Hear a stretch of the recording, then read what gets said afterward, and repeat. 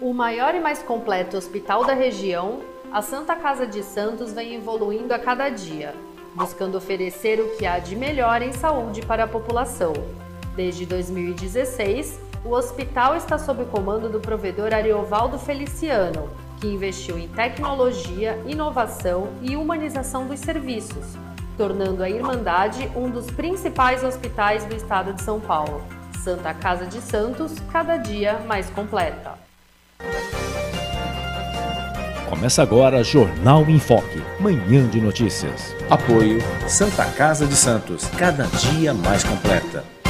Mas eu queria agora, Fernando, obrigado aí pelas suas informações, pelas principais notícias, é, conversar com o nosso convidado, é, o ex-prefeito em Marco Aurélio Gomes, que é o coordenador geral do programa Vale do Futuro, que é um programa do governo do estado de São Paulo.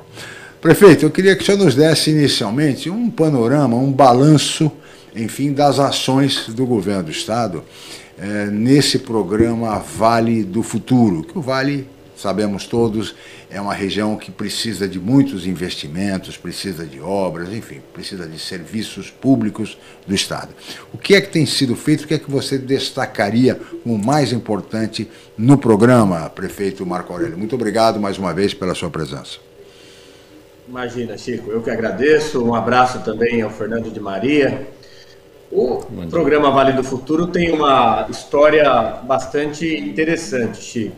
Pois não. Lá quando nós presidimos o CODIVAR, que é o Consórcio Sim. de Desenvolvimento do Vale do, do Ribeira e Litoral Sul, nós estabelecemos ali a criação então do Plano de Desenvolvimento Estratégico. Né? Falávamos nas assembleias de prefeitos que se acaso chegasse ali o presidente da República, o governador, e nos indagasse sobre quais melhorias seriam necessárias para alavancar o desenvolvimento do Vale, nós não teríamos uma resposta imediata e provavelmente teríamos aí pedidos individuais, né, e não coletivos. Sim. Construímos durante o nosso mandato, durante o ano, um grande plano de desenvolvimento, ouvindo os gestores, vereadores, ouvindo a sociedade civil, universidades, estudantes, e construímos um plano realmente que abordava as principais necessidades, seja para a recuperação social e principalmente econômica do Vale.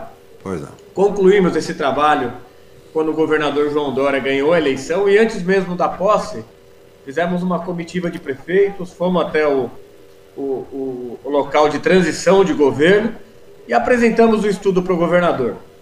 É, a boa surpresa é que logo no início do seu governo tivemos a notícia de que ele havia abraçado a ideia da necessidade né, de investimentos significativos lá na nossa região e desenvolveu então o programa Vale do Futuro. O programa, Chico, ele é abordado, ele tem ações das 24 secretarias de Estado.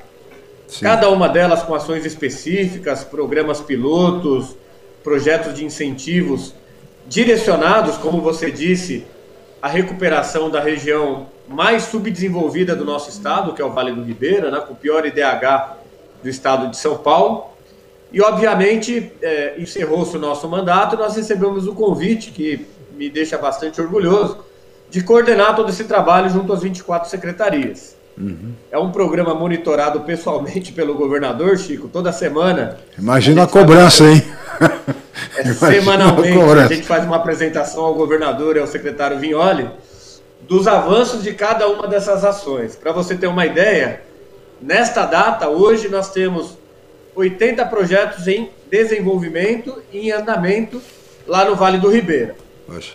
Com destaque, respondendo objetivamente à sua indagação, as ações de mobilidade urbana, recuperação das estradas, eh, as estradas vicinais para o escoamento da produção agrícola, é, as, os investimentos na saúde, Chico, ampliação do hospital regional, que é referência na região lá de Pariquera, Sim. uma obra importantíssima, quase 100 novos leitos sendo construídos lá naquela cidade, a construção da FATEC do Vale do Ribeira, que ainda não existia. Muito bom. Como eu disse, a questão das estradas, investimentos significativos no turismo, com a criação da, das primeiras rotas cênicas do estado de São Paulo, uhum. prestigiando ah, o artesanato local, as belas paisagens com a implantação daqueles aparadouros nas estradas, skywalks, no nível do que a gente vê nos países da Europa, nos Estados Unidos, investimentos em capacitação, investi eu posso detalhar daqui a, daqui a pouco na entrevista cada um deles, Chico, e oferecimento de crédito com linhas exclusivas para o Vale do Ribeiro. Os empreendedores, empresários do Vale estão sendo subsidiados com recursos do Banco Desenvolve São Paulo para que realmente a região é, possa se desenvolver com uma velocidade muito maior do que aconteceu até a presente data, Chico. Muito bem, eu queria só, antes de passar para o Fernando, prefeito, é, considerar o seguinte: é, como o senhor acabou de, de, relatar, são 80 iniciativas do programa Vale do Futuro do governo do Estado de São Paulo para o Vale do Ribeira. Ou seja, é um, é um programa de desenvolvimento do, da maior importância por parte do Estado, com recursos, enfim. Eu queria, em, a, a, além disso, saber se da parte do governo federal, é, prefeito, há algum investimento é, significativo na região do Vale do Ribeira. E faço essa pergunta porque, como é sabido, o presidente Bolsonaro tem familiares que residem no Vale do Ribeira, inclusive a, a mãe do presidente mora no Vale do Ribeira, o irmão, enfim. E ele próprio também passou uma, uma fase da sua vida no Vale do Ribeira. Pergunta, e ele eventualmente vai visitar os, os parentes, a mãe e tal, como foi recentemente. Eu digo, essa relação sentimental, enfim, é, com o Vale do Ribeira, é, está fazendo com que o governo federal se sensibilize e também, a exemplo do governo do estado, destine recursos, verbas para o Vale do Ribeira, prefeito? Chico, uma das boas características do programa Vale do Futuro é que no programa nós tratamos de ações coletivas, né? Todas as ações Sim. e projetos que estão estampados no nosso programa em execução, eles atendem o Vale do Ribeira de forma ampla, né? Atendendo regionalmente todos os municípios. E não há integração alguma com ações do governo federal, infelizmente. Aliás, eu tenho andado muito pelo Vale, conversava há pouco contigo antes da nossa entrevista, e a gente percebe que, além dos principais objetivos do programa, que é melhorar a qualidade de vida dos moradores da região, aumentar o IDH daquela região, mas também é recuperar a esperança, recuperar a autoestima Sim. dos moradores e empreendedores daquela região. E quando eu digo que, infelizmente, não há uma integração com ações do governo federal é porque a gente não observa em nenhum dos, em nem, naquela região nenhuma atividade coletiva por parte do governo federal. Eventualmente a gente pode ter a destinação de recursos através das emendas parlamentares, um ou outro programa é, que é destinado é, ao Brasil de forma geral, mas um programa de recuperação social e econômica, como o, o, o Vale do Futuro, ele inexiste por parte do governo federal. E a sensação que nós temos é na conversa com os prefeitos, na conversa com as câmaras municipais, com os comerciantes, as entidades civis organizadas, que hoje acreditam. O nosso programa, Chico, vai Sim. completar agora no mês de outubro dois anos de atividades. Então. Aliás, faremos uma grande prestação de contas lá no Palácio dos Bandeirantes. Já quero convidá-los para participar conosco no dia 18 de outubro, onde teremos uma apresentação de tudo o que está acontecendo, as entregas já realizadas. É, realmente demonstrando que, além dos resultados que nós vamos apresentar, as ações são efetivas. Né? É o compromisso por parte do governo de estado de 2 bilhões de reais em investimentos, sendo 1 bilhão da, do governo do estado e um bilhão da iniciativa é, privada que já está sendo capitalizado lá no Vale do Ribeira, Chico. Muito bem, muito obrigado pelo convite, prefeito. No dia 18 de outubro, portanto, essa solenidade no Palácio dos Bandeirantes, essa grande prestação de contas do programa Vale do Futuro.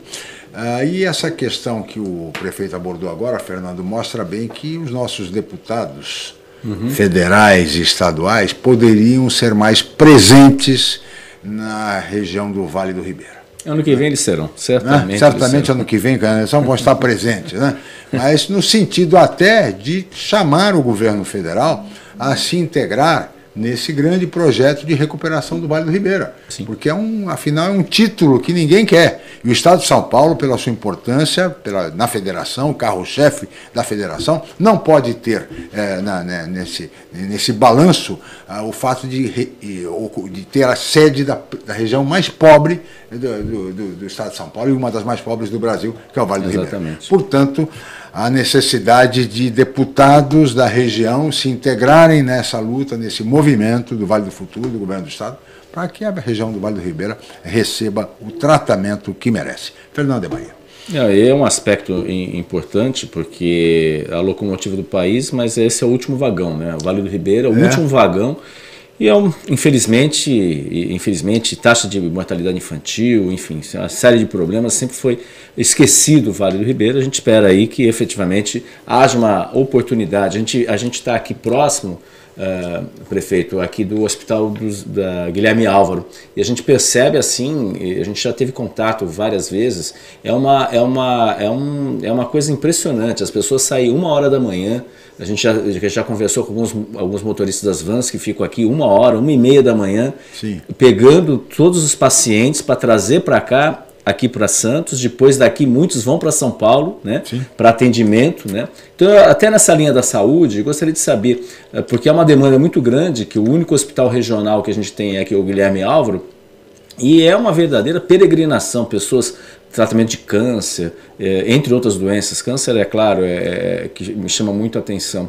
E, e, assim, esse novo, esses novos leitos que estão sendo construídos, quais tipos de atendimento que vão ser realizados para evitar justamente esse deslocamento, que é um, é um sofrimento Penoso, enorme né? por parte Penoso. da da, das pessoas com filhos, né, ficam aqui, não há nenhum espaço aqui, né, um Adequado espaço decente. Né? As pessoas ficam no canal, às vezes esperando a reclamações até de uh, dificuldade para ir ao banheiro mesmo, ter que ir no posto de gasolina aqui próximo, né? Então, uh, até um, um, apelo aí que a gente faz para que dê uma atenção melhor, uma estrutura melhor para atendimento para esses pacientes. Mas de que maneira esses leitos estão sendo construídos, prefeito? Eh, vão, vão ajudar aí, pelo menos diminuir essa demanda para vir aqui para o Hospital Guilherme Álvaro? Olha, Fernando, você fez um destaque aí fundamental no que diz respeito ao atendimento à população na área da saúde. Né? Essa realidade das pessoas que buscam atendimento em outras localidades é um problema que precisa ser enfrentado. Como você disse, além das pessoas saírem de casa muito cedo, elas precisam aguardar o último atendimento para poder retornarem uhum para suas casas. Às vezes ela é atendida 8 horas da manhã e precisa esperar até 5 horas da tarde para poder retornar nas, nas vans, né, nos transportes de pacientes.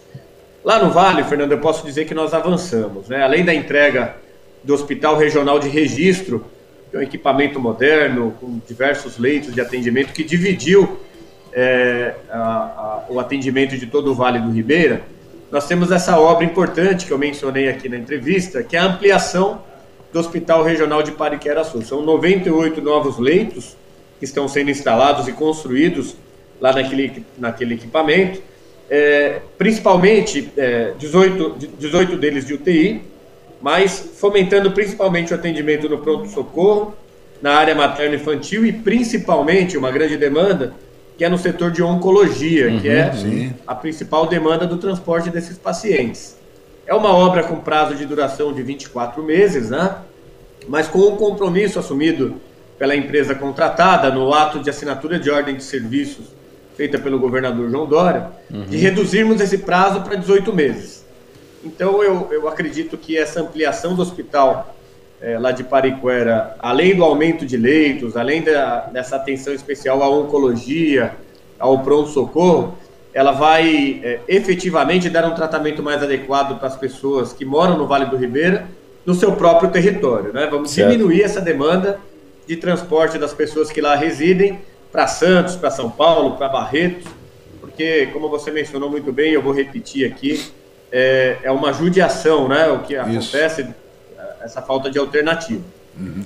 Muito bem. Prefeito, eu peço a sua licença, nós vamos fazer um rápido intervalo e voltaremos em seguida com o Jornal em Foque Manhã de Notícias. Até já.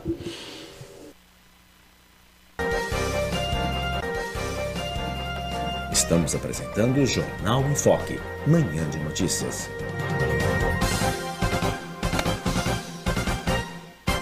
O maior e mais completo hospital da região, a Santa Casa de Santos vem evoluindo a cada dia, buscando oferecer o que há de melhor em saúde para a população.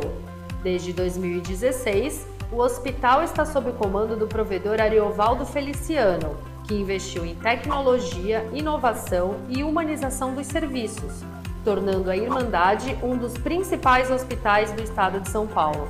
Santa Casa de Santos, cada dia mais completa. A paixão pelo mar e a busca constante por serviços de qualidade simbolizam o Pia 27. Com a melhor rampa para embarcações em Guarujá, o espaço tem 8 mil metros quadrados e oferece vários serviços. Além da guarda de embarcações, o Pia 27 disponibiliza transporte próprio para a transferência de seus clientes com saída na ponta da praia em Santos. Faça uma visita programada. O Pia 27 funciona de segunda a segunda com folga às quartas-feiras. Pia 27, um novo conceito em marina. Ah, felicidade. Dá pra ver por aí, em um olhar, um sorriso, até mesmo em um gesto.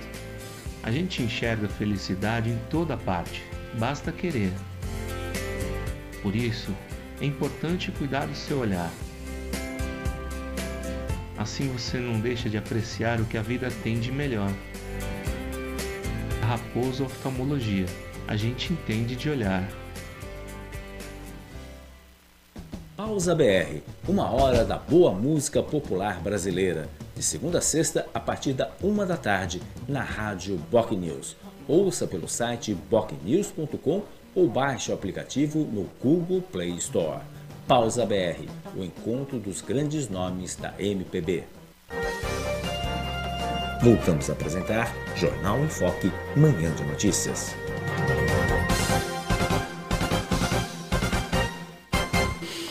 Agora, prefeito, eu queria convidá-lo a assistir um vídeo sobre investimentos na área de saneamento no Vale do Ribeira. Importantíssima também realização para o Vale. Pode soltar, Felipe, vamos ver. Vale do Futuro. Levando mais saúde, prosperidade e qualidade de vida para mais de 16 mil moradores.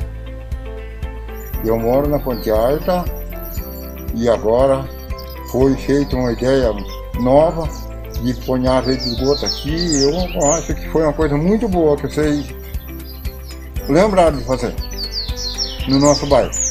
Nas obras entregues até o momento, foram investidos mais de 25 milhões de reais em novas redes de esgoto, ligações, construção de estações elevatórias e estações de tratamento em diversos municípios, beneficiando milhares de pessoas. Em algumas cidades, um novo índice de cobertura chegou a 100%. O trabalho continua. Para oferecer mais saúde e qualidade de vida à população, mais obras já foram anunciadas. Para saber mais sobre a atuação da Sabesp neste e em outros programas, acesse www.sabesp.com.br. Muito bem, prefeito. Aí está o vídeo da Sabesp a respeito de investimentos em água, rede de esgoto, enfim, beneficiando aí milhares de moradores. Da maior importância esse tipo de investimento, até porque saneamento é saúde, né, prefeito? Falávamos agora de saúde. É, Chico, a gente não fala em qualidade de vida e qualidade de saúde se não tivermos saneamento básico, né? Sim. E os investimentos são é, estrondosos no Vale do Ribeira, grandes obras de saneamento, de coleta de resíduos, é, enfim, a Sabesp é uma grande parceira do programa Vale do Futuro, temos uma atenção especial é, com os investimentos em infraestrutura, como eu disse no início da nossa entrevista, né, na recuperação das estradas, Sim. nas vicinais, e obviamente saneamento básico recebeu também toda a atenção necessária para a melhoria de vida da, da população lá do Vale do Ribeiro. Porque cada investimento que você faz em saneamento, você reduz o gasto na área da saúde, né? Com água potável, com saneamento básico, é uma é evidente um ganho extraordinário em termos de qualidade de vida e poupando recursos para a área da saúde, o que é também necessário, né, prefeito? É fundamental. Isto, saneamento igual à saúde. Né? Exatamente, Chico. É, como eu disse a você no início da nossa entrevista, o, o, programa Vale do Futuro, a atenção do governador João Dória foi tamanha que foram envolvidos, além das 24 secretarias, também a Sabesp aí com as obras de saneamento, que é ligada né, à Secretaria de Infraestrutura e Meio Ambiente. Eu deixar Sim. aqui um abraço ao nosso secretário Penido, que tem feito um grande trabalho aí também de recuperação. Aliás, Chico, é, esse assunto me remete a uma grande iniciativa do Estado de São Paulo, do governo do Estado, uhum. que foi a criação do ICMS ambiental. Sim. Eu não sei se você teve a oportunidade de, de conferir essa, esse tema. Uhum. É, o governo do Estado fez uma alteração da legislação e da destinação do ICMS estadual, é, recompensando os municípios que têm essa característica de preservação ambiental, como é o Vale do Ribeira. Sim. Aliás, os gestores e os moradores sempre tiveram uma queixa muito fundamentada de que não havia uma contrapartida ao Vale do Ribeira, que era considerado o pulmão do estado de São Paulo, Sim. em razão das limitações de crescimento na área industrial, na área de investimentos, em razão da preservação ambiental. Claro. E agora o governador João Dória fez essa alteração, criando o ICMS ambiental, onde serão prestigiados e premiados os municípios com compromisso com o meio ambiente. São Sim. mais de 100 milhões de reais que serão investidos anualmente, diretamente na, no, é, no, repasse dos recursos aos municípios, dando oportunidade, como compensação pela preservação ambiental, para que os municípios façam investimentos no saneamento, na infraestrutura, ou seja, os investimentos necessários para o desenvolvimento de cada município lá do Vale. Muito bem, são medidas compensatórias importantes. Fernando de Maria. Temos perguntas aí de amigos internautas, né, Tem Fernando? vários internautas aqui participando. O Aldo Neto aqui. Essa pergunta depois o Chico vai, vai fazer, obviamente, para o prefeito, uhum. né? Se, se tem, já teve algum deputado, quer saber do seu futuro político também. O Arthur Lima, o Reinaldo Moura, o Márcio Prudente, a, a Kátia Doens, eh, dizendo que o Marco Aurélio é uma pessoa extremamente dinâmica, de diálogo, o Flávio Luiz dando bom dia, o Fernando Ruivo, o Pedro Fornaciari Júnior também, bom dia. O Hermenegildo Menin também gosta de Tenhaém, gostaria que o VLT fosse até lá, e ainda mais, passando também, né? E aí ele coloca, Vale do Futuro, quem quer isso? Queremos o Vale do Presente, esse papo de futuro é discurso para boi dormir. O Flávio Luiz Escorzafa, isso, Marco Horário Experiência, sem dúvidas, agora no Vale do Futuro, tra traz melhorias para o Vale, recapeamento de rodovias, divulgação do turismo. Aqui são vários internautas aqui. Falando até do turismo, gostaria até de saber também uh, quais são as iniciativas. A gente vê pelas imagens o potencial turístico que o Vale tem. Oh, né? Ah, e, e, claro, tem essas limitações, obviamente, limitações de expansão uh, em razão, do, obviamente, de preservação ambiental. O senhor tinha falado que investimento de um bilhão da iniciativa privada. Quais são as áreas que o Vale está se preparando aí? Quais são as empresas? Qual o perfil de empresas para se instalar no Vale do Ribeira, né, efetivamente, e quais as ações focadas especificamente para ampliar ainda mais a divulgação do turismo né, na, no Vale do Ribeira, que a gente lembra muito da Caverna do Diabo, né, mas assim, obviamente o potencial turístico é enorme lá. Quais são as ações que estão sendo feitas nesse sentido lá no Vale do Ribeira? E no litoral sul, de certa forma, né, que a gente pode também uh, complementar. Fernando, excelente pergunta, viu? Quando a gente fala em melhoria da infraestrutura de uma região, obviamente o resultado disso também reflete no turismo. Né? A mobilidade urbana talvez fosse uma das maiores reivindicações dos gestores e da população do Vale do Ribeira. Né? O transporte, a locomoção entre os municípios era uma dificuldade tremenda. E nós mapeamos todas as estradas é, que haviam necessidade de intervenção por parte do Estado de São Paulo e todas elas já estão com obras de recuperação em andamento. A exemplo da SP-226, que liga Pariquera a Cananéia, uma importante rodovia do Estado de São Paulo, a SP-193, que liga ali Jacupiranga, a Eldorado, a Caverna do Diabo, o acesso do Baixo Vale ali de Poranga é, até o Alto Vale em Apiaí, com uma obra de perenização importante. É, além disso, como eu disse no início da entrevista, nós teremos investimentos na criação das rotas cênicas já em licitação. Serão três, as três primeiras rotas cênicas do estado de São Paulo é, implantadas lá no nosso Vale do Ribeira. As rotas gastronômicas já em andamento também.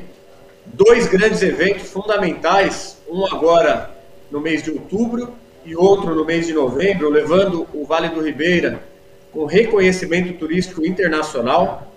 Um deles é, é o Adventure Week, é, Chico, onde já houve a, a pré-inspeção na região do Vale, com jornalistas do mundo todo, Sim. que passarão aí alguns dias no Vale do Ribeira, fazendo todo aquele mapeamento das belezas naturais, Ótimo. das trilhas, das cachoeiras, e onde a gente vai conseguir oportunizar o Vale, então, claro. uma mídia internacional. Ótimo. E em novembro, Chico, um evento que é muito esperado por todos nós, nós teremos o segundo Rally dos Sertões aqui no Brasil. E ele vai ser realizado lá no Vale. Hum, Olha só que beleza. Iniciativa. Nossa, as trilhas, os espaços aí para exploração do Rally dos Sertões já mapeados. Vai ser um grande evento também. Claro. Que vai oferecer é, além dessa mídia positiva que a gente sempre tenta levar lá para o Vale, Lógico. mas trazer turistas do mundo todo, né? Esses turistas de aventura, é, que é uma alegria muito grande. Além disso, dessas iniciativas, nós estamos trabalhando de uma forma muito efetiva numa, numa ação também que, no meu ponto de vista e do ponto de vista do Estado, é fundamental. Lá no Vale do Ribeiro, nós temos um problema enorme com a conectividade. As pessoas têm dificuldade. Sim em alguns pontos do Vale do Ribeira de comunicação, de acesso à internet.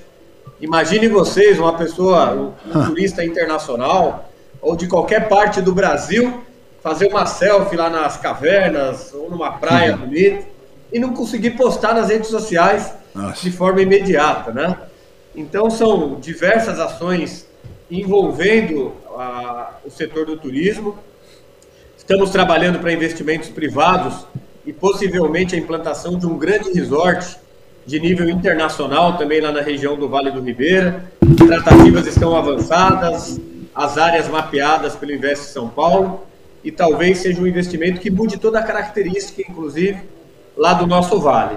Enfim, Chico, para não me estender só no assunto do turismo, são ações é, concretas, reais, que já estão em execução respondendo até um dos nossos internautas aí, ah. o Vale do Futuro, lançado há dois anos atrás, hoje é o Vale do Presente. Por isso que agora, no dia 18 de outubro, nós faremos uma grande prestação de contas de todas as ações que já acontecem e que já aconteceram lá no nosso vale. É importante que as pessoas, que os moradores do Vale do Ribeiro, enfim, que os formadores de opinião tenham informações, prefeito, a respeito daquilo que vem sendo feito dizer, a comunicação Chico, eu, eu, é fundamental nesse aspecto, até para informar adequadamente, devidamente, todos os moradores da, da, do Vale do Ribeiro e os benefícios decorrentes dessas iniciativas. Pois não, prefeito.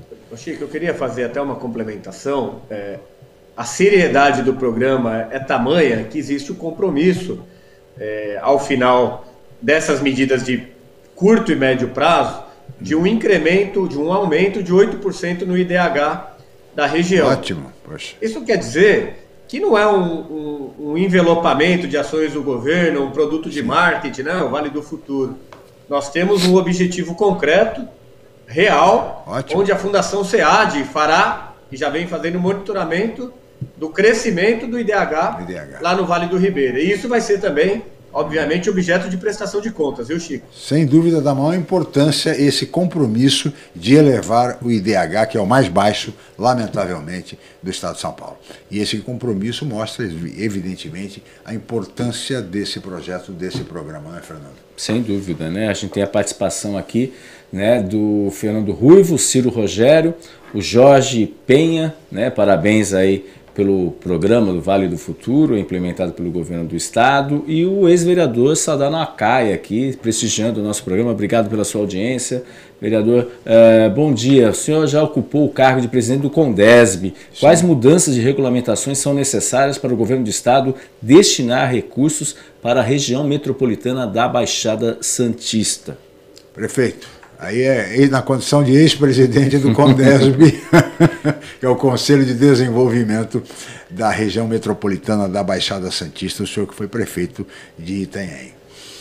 Olha, Fernando, Chico, é, aproveitando a pergunta, eu tenho muito orgulho de ter participado efetivamente como prefeito do nosso Condesb e mais orgulho ainda de ter podido presidir Sim. esse importante conselho de prefeitos que tanto contribui e contribuiu com a nossa região. Aliás, na, no momento da minha presidência, em 2014, nós havíamos concluído o plano de desenvolvimento estratégico da região metropolitana da Baixada Santista e celebramos essa entrega com um grande evento, não sei se vocês se recordam, no Teatro Guarani. Sim. Com a presença na época da presidente da República, o vice-presidente, governador.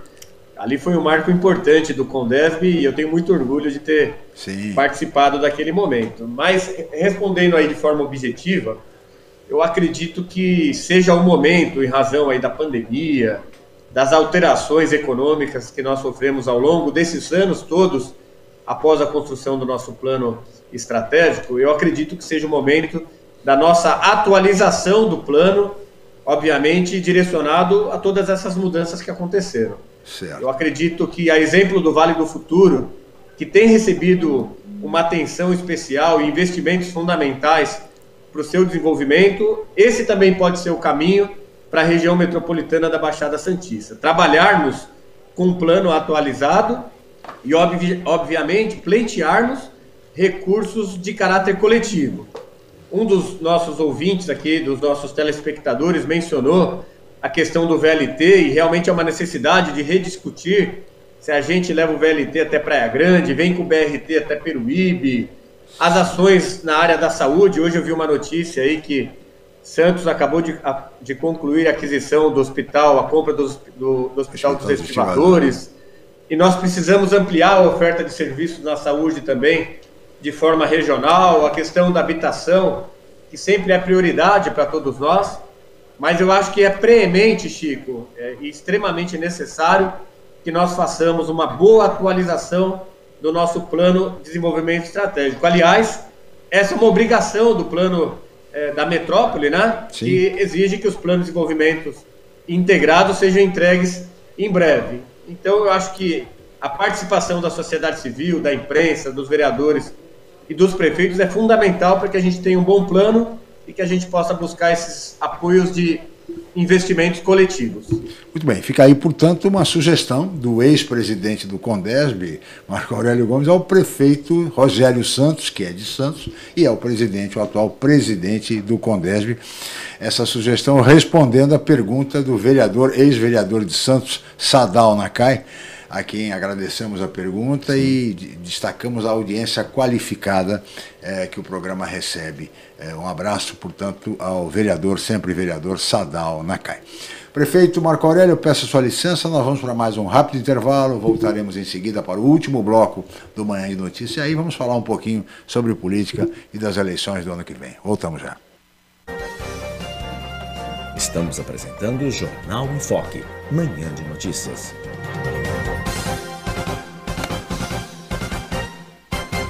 Maior e mais completo hospital da região, a Santa Casa de Santos vem evoluindo a cada dia, buscando oferecer o que há de melhor em saúde para a população.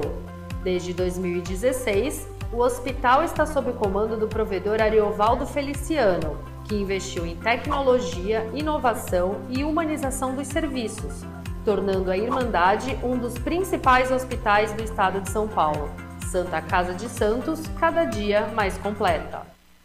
A paixão pelo mar e a busca constante por serviços de qualidade simbolizam o Pia 27. Com a melhor rampa para embarcações em Guarujá, o espaço tem 8 mil metros quadrados e oferece vários serviços. Além da guarda de embarcações, o Pia 27 disponibiliza transporte próprio para a transferência de seus clientes com saída na ponta da praia em Santos. Faça uma visita programada. O Pia 27 funciona de segunda a segunda com folga às quartas-feiras. Pia 27, um novo conceito em marina. Ah, felicidade. Dá para ver por aí, em um olhar, um sorriso, até mesmo em um gesto. A gente enxerga felicidade em toda parte, basta querer. Por isso, é importante cuidar do seu olhar. Assim você não deixa de apreciar o que a vida tem de melhor. Raposo Oftalmologia a gente entende de olhar. A esperança move a vida. Vive no verbo esperançar e significa oportunidade. Esperançar é agir, buscar, possibilitar. É saber que hoje pode ser diferente amanhã Cada um de nós pode levar esperança a quem precisa, a uma pessoa conhecida ou desconhecida, e podemos fazer a diferença e inspirar um propósito a uma vida. Vamos juntos esperançar? Voltamos a apresentar Jornal em Foque, Manhã de Notícias.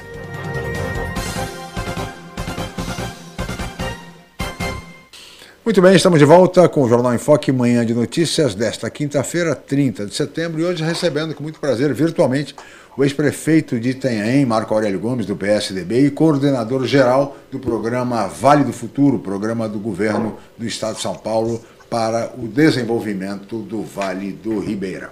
Uh, prefeito, eu queria agora começar esse bloco falando um pouco de política, de eleições, e me referindo agora à pergunta que foi deixada por um amigo internauta, o colega jornalista Aldo Neto, que quer saber o seguinte, prefeito: se o senhor vai ser candidato no ano que vem a deputado estadual, porque há rumores de que o senhor seria candidato à Assembleia Legislativa pelo PSDB. Procede essa informação? Quero saber o Aldo Neto.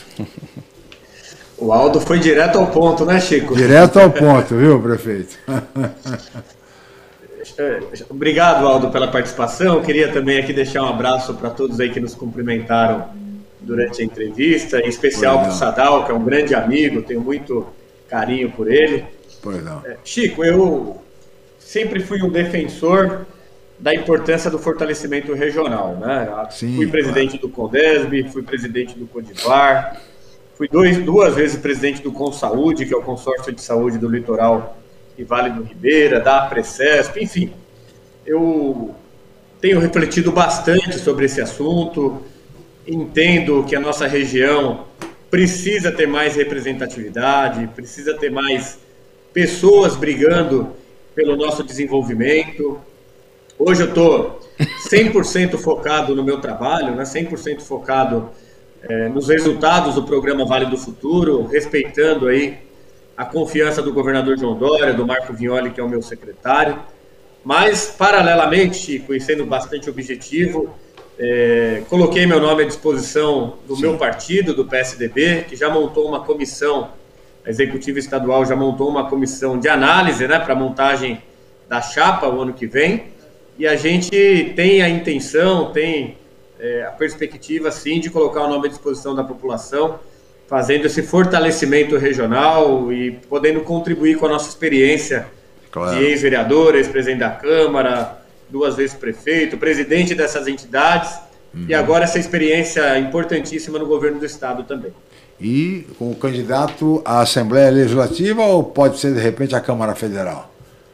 Não, a intenção, Chico, é ficar aqui perto da nossa base, né? Tá Fortalecer regionalmente e estar presente claro. aqui na nossa região também. É importante, viu, prefeito, é que lideranças da região disputem a eleição, até para evitar aquele problema que ocorre a cada eleição geral uhum. na nossa região, que são os chamados paraquedistas, viu, prefeito? O senhor sabe bem o que é isso. Então, é gente de todo lado do estado de São Paulo que eles caem aqui na região, levam milhares de votos da Baixada Santista e nunca mais aparecem.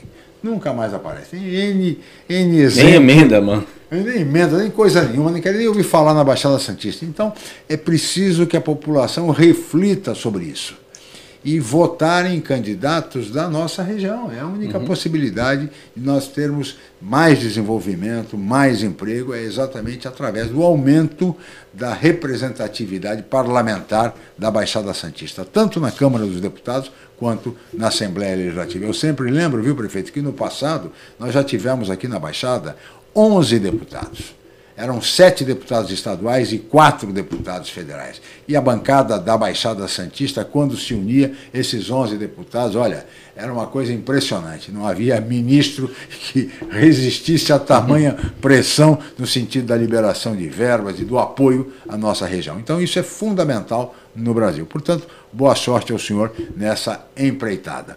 Queria passar agora ao Fernando de Maria, que certamente tem mais perguntas. Fernando, por favor. Sem dúvida, vem aquela batelada de perguntas aqui. Agradecer o Dedé Edson, parabéns ao amigo Marco Aurélio pelo trabalho incansável por nossa região. Também prestigiando o ex-prefeito de Bertioga, José Mauro Orlandini ah, também. Orlandini, um abraço, Orlandini. Mandando um abraço para o Marco Aurélio, para o Sadal, falando com Désio, assim como a nossa região carece de atenção, compromissos e respeito aí. A questão aí do ex-prefeito de Bertioga também, que tem uma participação, sempre participando aqui do nosso programa. Uma audiência qualificada, viu, prefeito? Aqui a gente tem uma audiência qualificada aqui que participa aí na manhã também, né? Enfim, o René Antunes também mandando. Eu gostaria, são três questões, pois né? não, vamos aproveitar, lá. né? Aproveitar. A, a, a, questão, uh, o senhor falou que foi presidente do Consaúde e, e uma das questões que é um consórcio na área da saúde, não é isso, prefeito? Né? Ah, e por que a Baixada Santista, o Condesb, não tem um consórcio na área da saúde? O senhor teve lá, né? É, o que, acontece, né? Porque cada um vê o seu lado, não existe esse consórcio, Vale Ribeira tem os seus próprios consórcios, e aqui até para a, a, aquisição de, de medicamentos, enfim, facilitaria muito mais a compra nesse tipo de situação por meio de consórcio. Eu calculo dessa maneira, né? Para facilitar o trabalho aí das, das secretarias de saúde. Essa, essa é uma questão.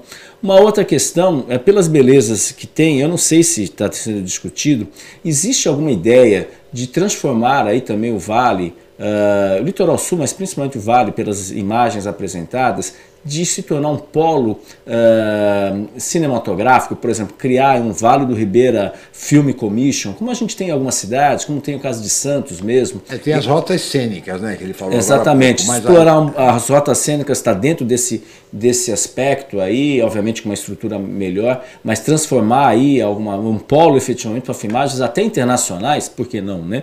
E uma outra questão que não poderia deixar de ser, o senhor como ex-prefeito de Tenhaém também dentro do Vale do Futuro, só que a há um, uma discussão muito grande e a mobilização de deputados, enfim, sobre a questão da implantação de praças de pedágios, em, especialmente aí no litoral sul.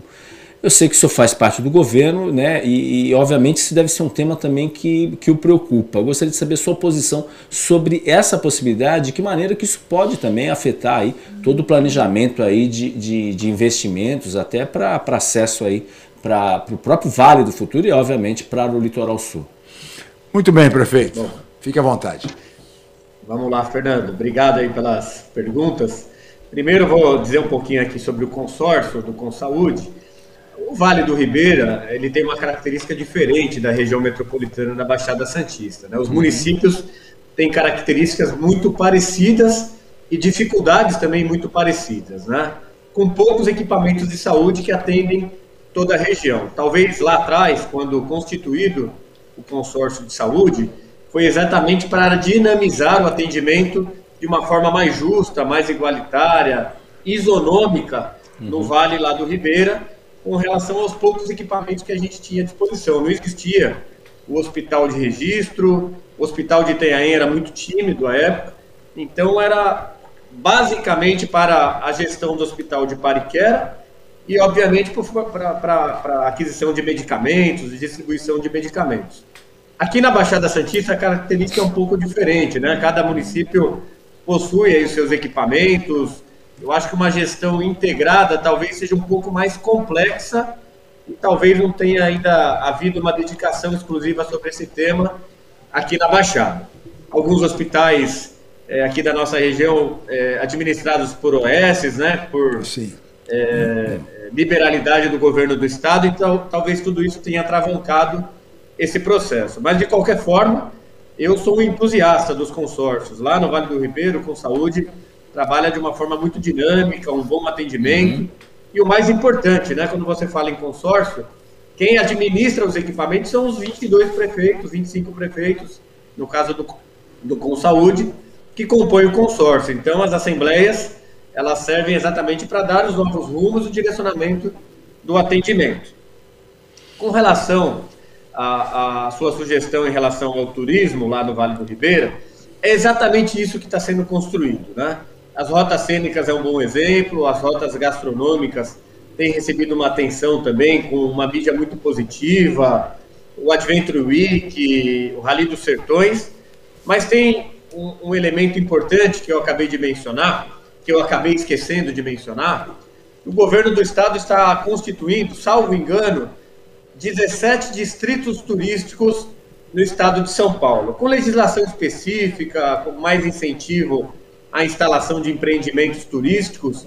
E dois desses 17 empreendimentos serão instalados lá no Vale do Ribeiro. Um ali na região das cavernas, aliás, os parques lá da região do Vale do Ribeiro estão sendo é, preparados para concessão para iniciativa privada, e outro deve ser na região do Lagamar, na região das praias, ali Iguape, Ilha Comprida, Cananéia. Então, é, o, o, Vale do Ribeira caminha exatamente para um profissionalismo na área do turismo, tá, Fernando? Uhum. Com todas Ótimo. essas ações. Uhum. Ótimo. E... e, por último, essa uhum. questão da, da concessão da rodovia, né? Você sabe que a gente toma um pouco de cuidado de como se expressar com relação a isso, porque próxima à eleição a gente sabe que as pessoas às vezes pretendem ou costumam utilizar de forma política as nossas declarações. Eu tenho me manifestado, Fernando, que a duplicação da rodovia SP-055 de Peruíbe a Miracatu, a BR-116, é fundamental para o desenvolvimento do Vale do Ribeiro e do Litoral Sul além de facilitar o escoamento da produção agrícola, facilitar o acesso de turistas em toda a nossa região, na Baixada Santista, fazer uma ligação mais segura e importante do sul do nosso país, de Curitiba, do Paraná, de Santa Catarina, com o Porto de Santos, com a nossa capital da América Latina, que é São Paulo. Entretanto, em que pese todos os estudos realizados pela Artesp, algumas contrapartidas fundamentais para que essa concessão possa é, avançar não foram observadas. Dentre elas, a implantação da praça de pedágio na cidade de Itanhaém. A gente, lá atrás, quando era prefeito, essa discussão veio à tona e a contrapartida necessária para a cidade de Itanhaém, para que isso possa prosperar, seria a implantação das vias expressas, ligando a cidade de lado a lado, né, Itanhaém, ligando Mongaguá a Peruíbe, sem interrupção por vias expressas, com passagens de desnível, com a construção de duas pontes sobre o rio Itanhaém, que se faz necessária, com um incentivo e uma isenção de pagamento de impostos aos moradores da nossa cidade. Observadas todas essas exigências da cidade de Itanhaém, o prefeito Tiago pontuou muito bem isso ao vice-governador Rodrigo Garcia, a duplicação se torna viável. Uhum. Entretanto, o modelo que foi apresentado pela Artesp, que está suspenso, inclusive, uhum. pelo governo do estado, ele não ofereceu as contrapartidas necessárias para a cidade de Itanhaém. E é essa discussão que está sendo estabelecida entre a prefeitura de Itanhaém, Mongaguá, as prefeituras do Vale, com o governo do estado. Houve muita sensibilidade do vice-governador, que é o gestor da questão das concessões lá no governo do estado, e a gente aguarda uma posição. A contrapartida que a cidade de Itanhaém espera é aquela exigida pelo gestor municipal, pelo prefeito, pela Câmara de Vereadores que se mobilizou, aliás, as câmaras de toda a Baixada, mas principalmente as contrapartidas que atendem a população da nossa cidade. Na hora que houver esse entendimento, eu acho que a concessão pode avançar. No modelo atual, realmente o prejuízo seria muito grande e, e, e principalmente para a cidade de Itanhaém. Uh, prefeito, aproveitando o gancho, nós já estamos nos aproximando do final do programa e eu queria é, saber do senhor o seguinte: uma avaliação do senhor sobre esses primeiros é, nove meses é, do início da gestão do seu sucessor, que o senhor trabalhou por ele, enfim, foi o seu candidato, o prefeito Tiago Cervantes. Como é que o senhor avalia esse início da gestão do seu sucessor, prefeito? Olha, Chico, o Tiago Cervantes, que era o meu vice-prefeito, é o nosso prefeito hoje, ele foi uma pessoa que foi se preparando ao longo do tempo para governar a nossa cidade. Né? Foi secretário de habitação, foi vereador, presidente da Câmara, secretário de educação, secretário de governo, vice-prefeito e hoje é o nosso prefeito. É, obviamente que ele preparou um grande plano de governo, uma continuação de diversas obras fundamentais de infraestrutura no, nos bairros e tem colocado tudo isso em prática no tempo que é permitido em razão do, que a gente vem vivenciando hoje em dia, né, Chico? Uhum. Você imagina assumir uma prefeitura no momento em que você vai direcionando a sua equipe, vai montando o seu programa é, de ação e você inicia então o seu mandato dentro de uma pandemia, com o comércio fechado, claro. brigando pela vida, brigando pela vacina. Então a minha avaliação é positiva, o Thiago está bem é, incumbido aí junto à sua equipe de colocar em prática o plano de governo que ele levou à população, foi escolhido pela população é, para governar nossa cidade, foi o melhor plano apresentado, inclusive. Tem feito peregrinações no Palácio dos Bandeirantes, no governo federal, na busca de recursos que são fundamentais, principalmente para a infraestrutura urbana e drenagem, que é uma grande demanda aqui da nossa cidade, e a nossa expectativa é positiva. Ele tem uma grande equipe, tem liderança e vai fazer um grande governo aqui na cidade de Itanhaém. Muito bem, prefeito, já estamos chegando ao final do programa. Eu queria reservar um minutinho para as suas considerações finais, para as suas despedidas, registrando desde já, prefeito, os nossos agradecimentos pela sua participação, pela sua presença, pelos seus esclarecimentos como coordenador desse grande programa do governo do estado, que é o Vale do Futuro de Desenvolvimento para a região do Vale do Ribeira, que, como eu disse no início, tem muito potencial, potencial econômico, agrícola, turístico, e não pode continuar nessa condição de apontada sempre como a região mais pobre do estado, com o menor IDH do estado, e IDH esse que é o compromisso do governo do estado que vai subir até o final desta gestão. Prefeito, muito obrigado pela sua participação. Chico, o Vale da Pobreza, como algumas pessoas pejorativamente chamavam o nosso Vale do Ribeiro, é coisa do passado. O Ótimo. Vale do Futuro realmente veio para transformar a vida das pessoas, para levar investimentos, para reduzir a pobreza naquela região. Eu te asseguro que estou muito entusiasmado e muito feliz de poder coordenar um programa que é um programa piloto do governo do estado de São Paulo. Eu acho que é um programa que tem que ser copiado e levado para todas as regiões do nosso estado e mais ainda ser levado para todo o nosso país como modelo de governança e de investimentos efetivos. E agradecer a você, agradecer o Fernando pelo convite.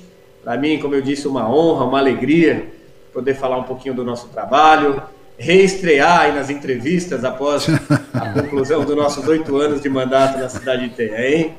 Deixar um abraço aqui para toda a população da nossa cidade, a, toda, a todos os amigos que prestigiaram essa entrevista. Um abraço para todos os moradores do Vale do Ribeira, da Baixada Santista, ao deputado Samuel Moreira, que acaba de mandar uma mensagem aqui, que também estava então, nos assistindo. Um abraço ao deputado Samuel Que é um grande Samuel colaborador Moreira. do nosso Vale também. Ele já participou do nosso programa, nosso programa, o deputado Samuel Moreira, e logo, logo precisa voltar, né? Precisa voltar Sim. a participar. Um abraço a ele Convidado. também.